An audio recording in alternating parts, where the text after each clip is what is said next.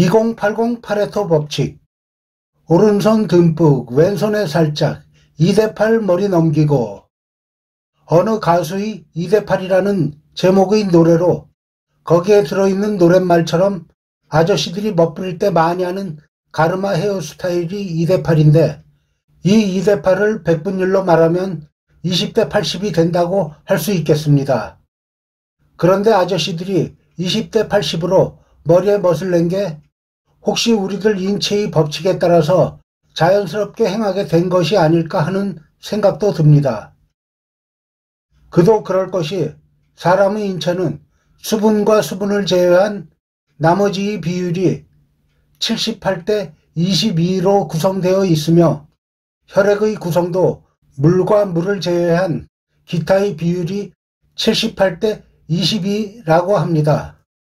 사람의 인체만 그런 게 아니고 정사각형 속에 내접된 원을 그리면 정사각형의 면적과 그 내접된 원의 면적 비율도 78대 22입니다.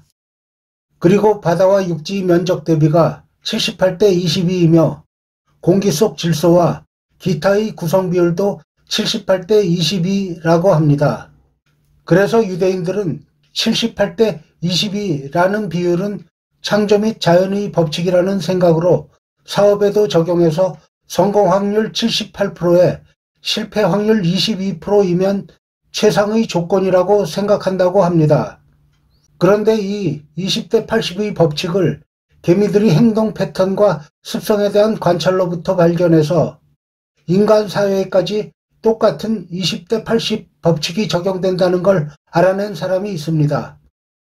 이탈리아의 경제학자, 사회학자, 통계학자이기도 한 빌프레도 파레토라는 사람인데 그 사람 이름을 따서 파레토 법칙이라고 하며 2080 법칙이라고도 합니다. 파레토는 어느 날 땅에서 많은 개미들이 움직이는 걸 쳐다보다가 개미들의 행동 패턴과 습성을 관찰하게 되었다고 합니다. 그리고는 전체 개미의 20%만 열심히 일을 하고 나머지 80%는 빈둥댄다는 아주 재미있는 사실을 하나 발견했다고 합니다. 그래서 흥미가 생긴 파레토는 열심히 일하는 20%의 개미만 없으면 모두 일을 열심히 하겠지? 라는 생각을 하고 열심히 일하는 20%의 개미를 따로 떼어내어 관찰을 했다고 합니다. 그러자 일을 열심히 하던 무리도 따로 갈라 놓았더니 그중 20%만 열심히 일을 하고 나머지 80%는 빈둥거리며 일을 하지 않았다는 겁니다. 모든 일개미가 열심히 일하는 것이 아니라는 겁니다. 열심히 일하는 개미와 그렇지 않은 개미를 세어보니 그 비율이 20대 80이었다고 합니다.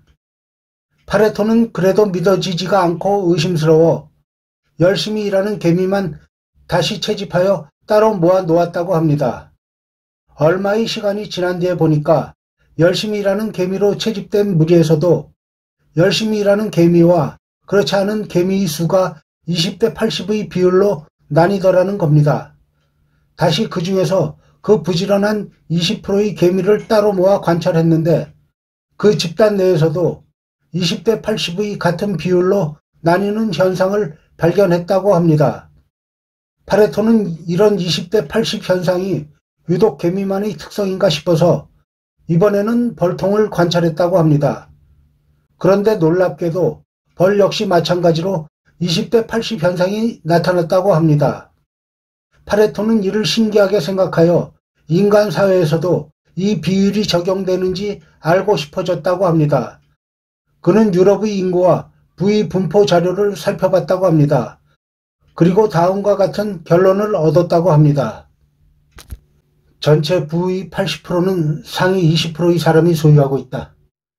또 전체 인구 중에 20%의 인구가 전체 노동의 80% 노동을 하고 있다. 이렇게 해서 그 유명한 파레토 법칙이 탄생했다고 합니다.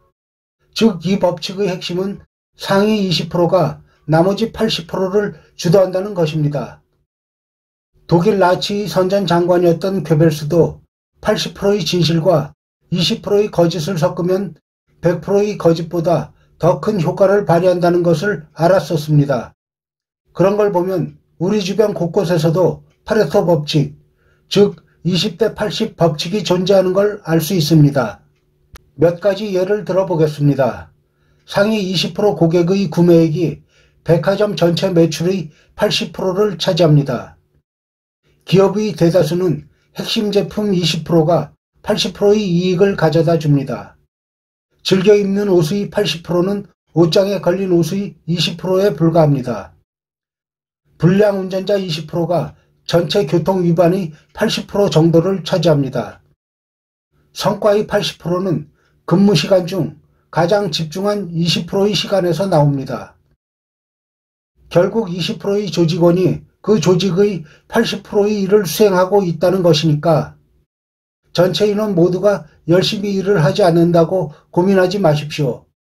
차라리 20대 80 법칙 때문이려니 생각하고 고민하지 않는 게 내 정신 건강에 좋지 않을까 생각해 봅니다. 마음의 여유를 갖고 미소 짓는 얼굴이 아름답습니다.